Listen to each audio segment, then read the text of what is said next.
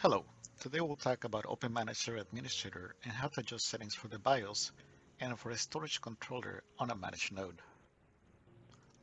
OMSA allows the capability to display system information, including an inventory of hardware, BIOS, and storage settings. To check BIOS settings, we can expand the options on the left under Server Module, Main System, and then BIOS. To view the settings, we will need to click on the Setup tab. Then we will have the information displayed in a similar fashion as the system's BIOS. As an example, we will click Settings on boot settings.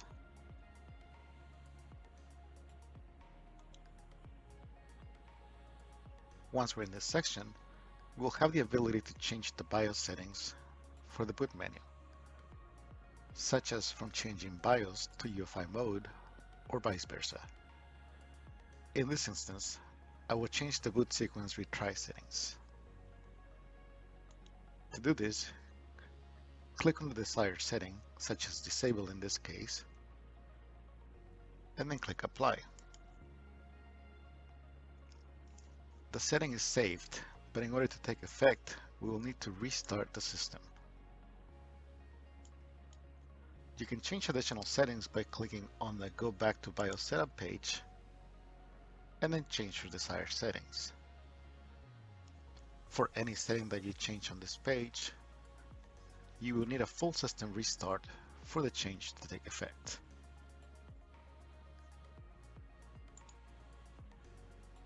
Next, let's take a look at the options under the storage section. To expand, click on the storage and then any available controller card.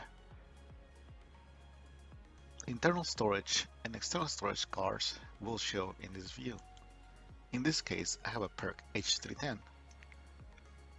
We can drill down farther by clicking under the storage card, then the connector, enclosure, and then physical disk information. Here we can see our physical disks. Operations for the physical disks are available by clicking on the drop-down menu. For example, if you had a physical disk under predictive failure, we can click on the drop-down menu and then set the disk to offline. Once we have the setting selected, we can click on execute. In this case, I will not change the setting. We can view virtual disk information by clicking on the section for virtual disks. Available task will be available by clicking on the drop-down menu. As an example, if we had added physical disks, to expand this virtual disk, we could click on Reconfigure and then Execute. Our current physical disks will show, and any disks that we had added will be available to select. Then we can click on continue to make the desired change for the RAID level. In this case, since I did not add more disks, my only options is to switch my RAID 1 to a RAID 0. To generate reports at the controller level or to export logs, we can click on the controller card on the left. Then we will need to click on Information and Configuration on the top.